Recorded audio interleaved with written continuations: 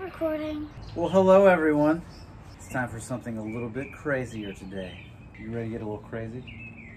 As long as I've been teaching art, which is a long time, I have noticed that uh, even very, very young children, even younger than Harper, uh, kindergarten and even pre-K kids can understand when something is trying to look real or when it might just be shapes and colors and lines and it is very, what's the word? Do you remember?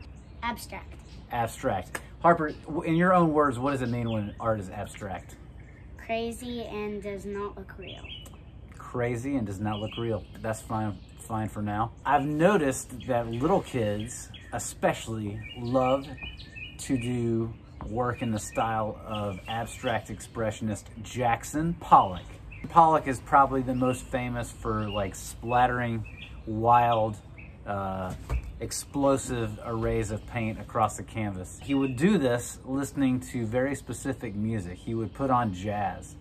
The jazz would infuse him with creative energy and he would fling ridiculous, copious amounts of paint all over the canvas or the wood or whatever he was painting on. You know what's fun? Shooting paint all over the place. Everybody likes it.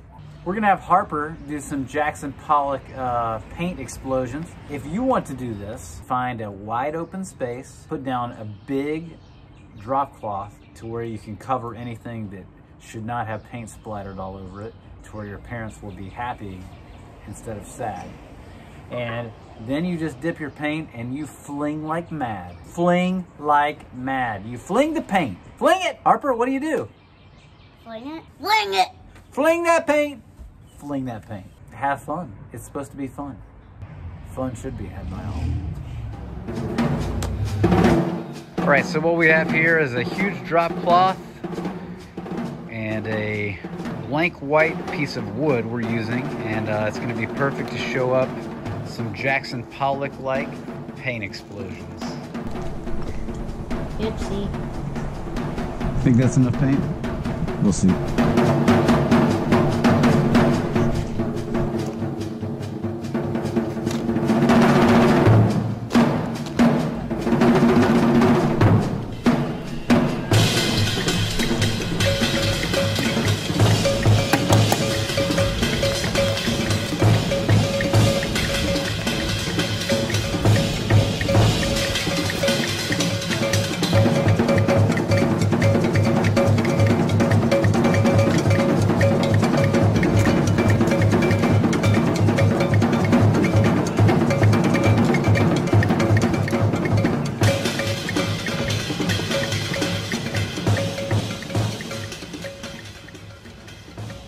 Say that it does not look very real.